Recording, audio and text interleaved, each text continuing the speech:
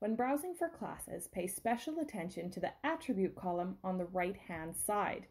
This will tell you how your course is being offered.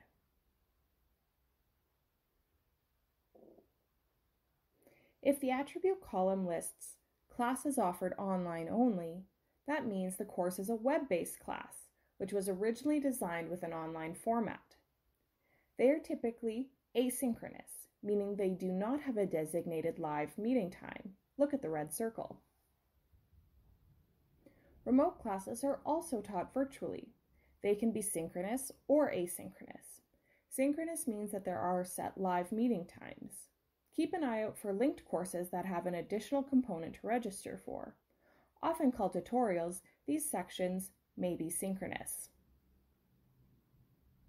If class taught remotely or classes offered online only is not mentioned, the class will be taught in person.